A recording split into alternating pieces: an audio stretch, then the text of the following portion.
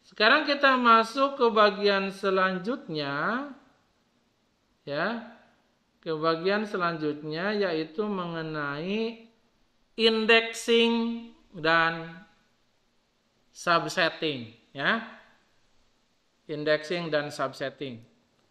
Oke, kita akan praktekkan menggunakan data iris. Data iris ini data yang sangat terkenal, ya biasanya dijadikan contoh untuk pengolahan data. Nah, data iris ini terdiri atas 150 baris dan 5 variabel. Ya. Ini udah pernah saya bahas juga kalau nggak salah data iris. Jadi data iris itu adalah ada bunga. Nah, bunga itu diukur 4 variabel. Ini variabel-variabel yang diukurnya. Sepal length, artinya panjang sepalnya. Bunga itu eh, si kelopaknya itu kan ada kelopak luar, ada kelopak dalam gitu ya. Itu nanti ada yang disebut dengan sepal, ada yang disebut dengan petal. Nah, kemudian si kelopaknya itu nanti diukur. Ada bagian panjangnya, ada bagian lebarnya. Gitu.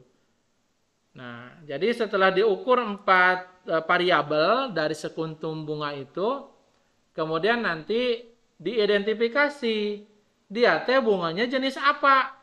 Nah, itu ada tiga jenis bunga. Makanya ini yang variabel terakhir spesies itu menyatakan jenis bunganya.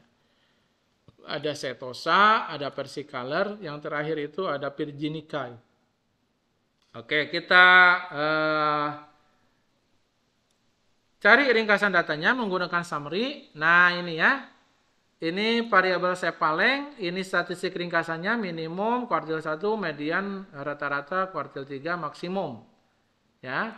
Kemudian ini variabel berikutnya ya. Nah, kemudian ini yang terakhir nih, yang spesies ini. Karena dia adalah bukan numerik, maka dia laporkan statistik ringkasannya itu adalah frekuensinya. Jadi spesies di sini dinyatakan ada 50 setosa, ada 50 kuntum bunga jenis versicolor dan ada 50 kuntum bunga jenis virginica.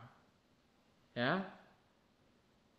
Nah, kalau kita mau spesifik untuk variabel yang terakhir, yang spesiesnya ini, gunakan summary iris tanda dolar spesies, artinya kita ingin melihat statistik ringkasan dari variabel spesies. Hasilnya sama, ya. Setosa ada 50, Versicolor ada 50, Virginica ada 5, 50. Ya. Coba kita intip eh, 10 baris pertama. Nah, ini 10 baris pertama datanya ya. Kuntum bunga nomor 1 sampai nomor 10 ya. Variabel ke-1, kedua, ketiga, keempat dan ini variabel yang terakhir adalah spesiesnya. Ya, yang kategorik. Nah, kemudian kita coba akan subset. Ya. Apa contoh mensubsetnya? Saya hanya ingin ngambil 6 baris pertama. Jadi baris ke satu, ya, baris ke satu, kedua, ketiga, dan eh keempat sampai ke enam sampai sini, ya, sampai baris ke enam. Ya. Gimana caranya? Tadi kan indexing itu ada dua bagian. Bagian pertama adalah menyatakan baris, bagian kedua menyatakan kolom. Karena saya ingin mengambil baris 1 sampai 6, maka perintahnya kayak gini. Ya. Iris kurung siku 1 sampai 6, artinya ambillah baris 1 sampai baris 6. Menggunakan tanda titik 2, ya. Kemudian koma kosong. Kalau kosong berarti komponen variabelnya tidak diatur. Kalau tidak diatur berarti semua variabelnya diambil. Sehingga kita lihat dataset yang barusan kita bikin ini dia terdiri atas 6 baris dan 5 5 variabel ya. Variabelnya semuanya diambil kan karena tidak diatur, tapi barisnya dia hanya ambil 6 yaitu baris pertama sampai baris ke 6 ya Oke. Misalnya yang lain lagi, saya ingin subsetnya mengambil semua baris. Nah, kalau mengambil semua baris berarti komponen pertamanya tidak diatur kan, kosong aja.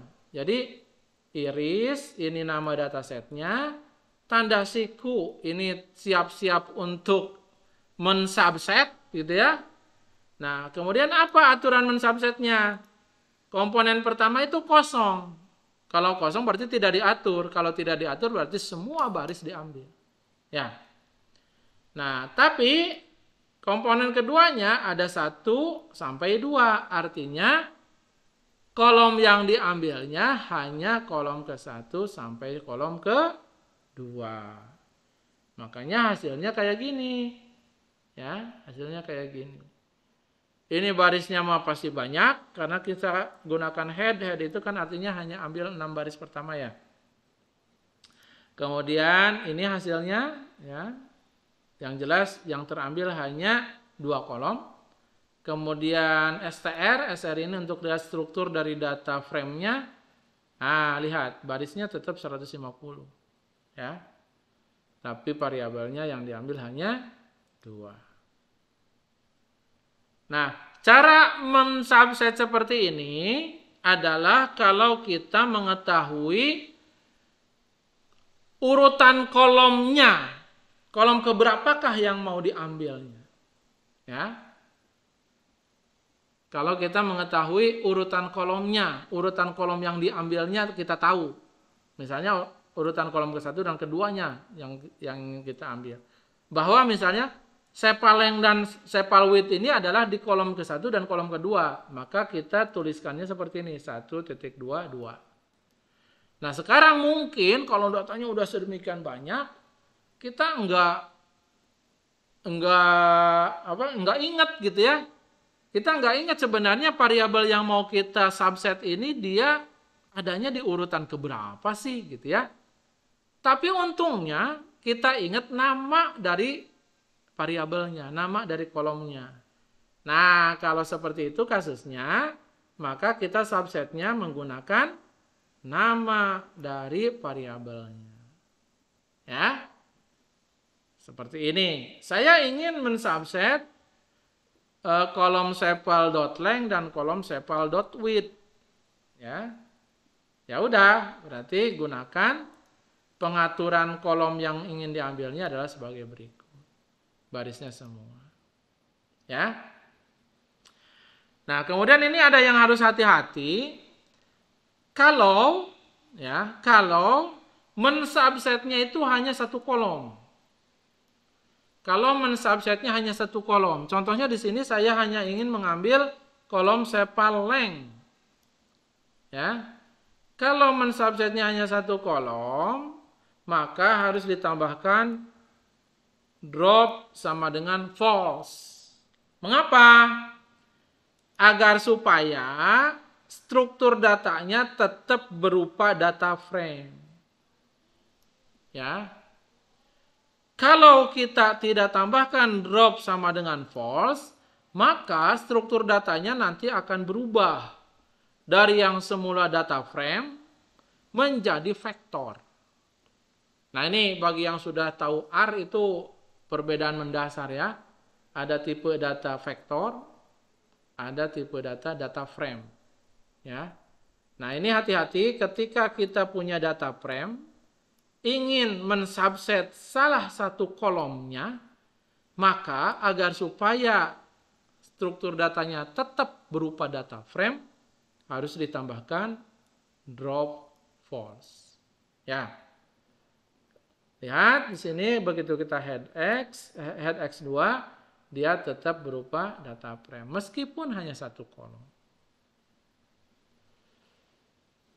Oke, jadi ada banyak lagi di sini cara mensubset itu ya, cara mensubset nanti kalian bisa uh, praktekkan ya.